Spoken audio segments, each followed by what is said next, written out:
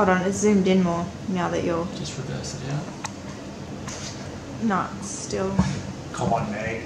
That's it. not my fault. Action.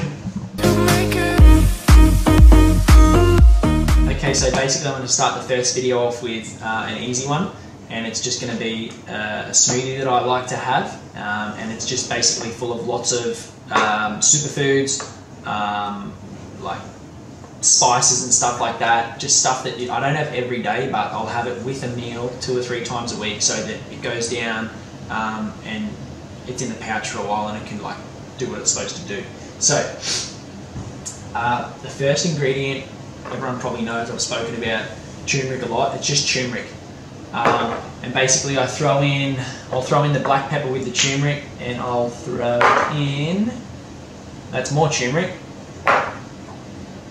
cayenne pepper, um, and basically that absorbs or helps helps your body absorb out um, an ingredient in the turmeric called curcumins, and basically curcumins is a really good anti-inflammatory. It's fight. It's got like cancer-fighting agents in it. Um, it does a whole bunch of other stuff like helps with arthritis, helps with um, depression, uh, Alzheimer's. Um, it's a bit of an antioxidant, uh, and it's just something good to throw in your smoothie because it tastes like shit. And you don't really want to like just throw it on a spoon and you know scoff it down. Second thing is ginger, just ground ginger. Uh, scientifically proven to treat nausea uh, and vomiting, which generally we have a lot of gut problems. So yeah, it's just good to throw in there because it does help with just settling the belly and stuff um, and resetting. Uh, we'll throw blueberries in because they taste good. They're a good antioxidant. Uh, orange, high in vitamin C and it's good for the immune system.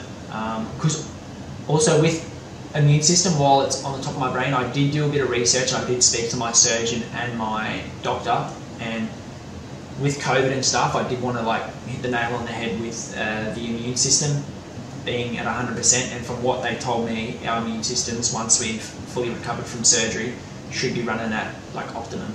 So they shouldn't be too um, too different than normal people's. Uh, lemon, I'll throw a lemon in there just because it's easy to digest. And what else have we got? Kombucha, just because it tastes good. Good stuff stomach bacteria. Um, peanut butter just to thicken it up and gives it a bit of taste. Like I mean, you can throw whatever you want in there, but I like to throw peanut butter in there. Um, what else?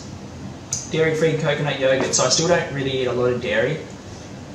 If any dairy, I'll just have um, lactose-free milk, which seems to work for me and I try to minimalise, minimalise, minimalise the amount of dairy and gluten that I have. So I'll still eat gluten, but I'll try to like not eat it every day. Uh, but yeah, anyway, back to the yogurt. The yogurt is just a good probiotic. Um, and yeah, apparently that yogurt there stops diarrhea, which it must do.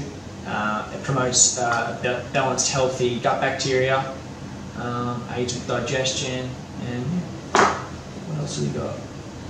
I think that's it. So yeah, I'm gonna get this all ready. I'm gonna show you what it looks like when it's all chopped up and yucky in this.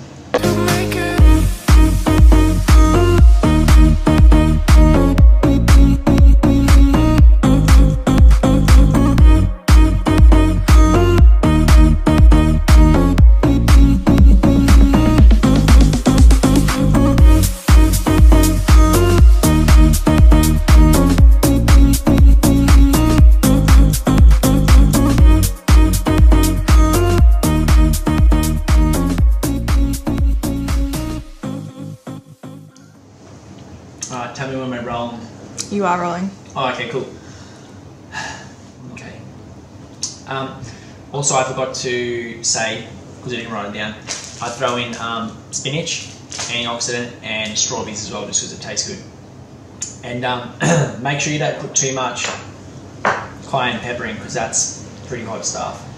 Like, yeah, I'm struggling right now.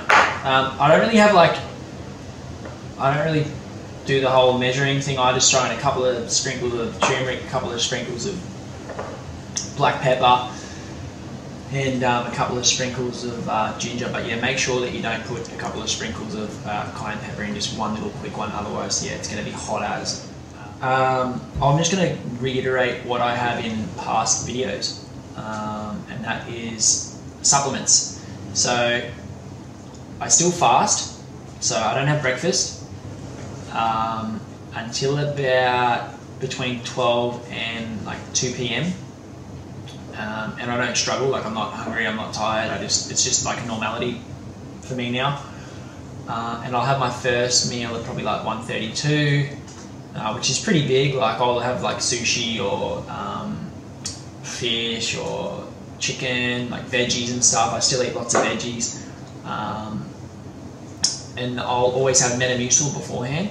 So basically, I just get like a cup like this. Um, this stuff's the Metamucil's amazing. So I just use like the generic, generic brand. This stuff here, it's good shit.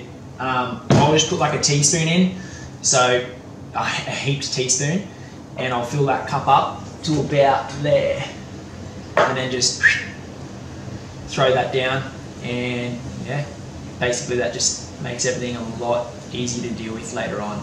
Um, everything comes out pretty normal, no runs. I have I have the I have the runs like once in once every three months. Um, but yeah, anyway, enough about me and my runs. Uh, yeah, supplements. So I love Metamucil. I always have that stuff with me wherever I go. I just put in like a gym shaker. Um, I still take GastroStop, which is um, Lipramide, Lipramide, um, like five milligrams. I have one of them in uh, with the first meal, and then one of them with the second meal. Um, I'll have garlic and horseradish, which is just like something to get rid of common common colds and fish oil um, for your hair and nails and all that shit. Uh, and then ba- basically that's it. Like the other thing that I will have will be Hydralyte, um, just for like fa- not fatigue, but just like you go outside in Australia in the middle of summer and you mow the lawns and you're wrecked. You sweat like two liters of water. So um, yeah, I'll have Hydralyte year round. I'll probably have like two or three a day in summer, and then maybe like three or four tablets over a week in winter. Because yeah, I do surf a lot still, and I still work. I still work pretty much full time. So I also wanted to talk about protein shakes because um, a lot of the boys and the girls in my group chat, like probably 95% of them, go to the gym. And uh, the main question that pops up when someone gets J pouch, because obviously we lose a lot of weight, we look like shit for a bit, is can I hit the gym and can I take like protein shakes and like carb shakes and stuff like that? Uh, personally, I don't because they don't agree with me. They're just full of sugar and they're full of things that I don't think pouches really respond well to.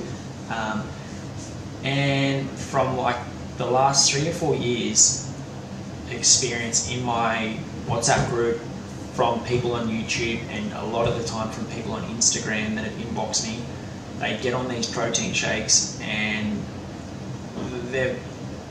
the amount of times they go to the toilet, their frequency just goes through the roof, man, because you, you're drinking this shit. And generally, like maybe the colon can handle it, but um, it's just my opinion. Pouch can't. Um, yeah, so I would steer clear of it personally, but I mean, everyone's got to try it because everyone's pouch is different, but that's just my honest opinion on it. Um, nothing wrong with it, just yeah.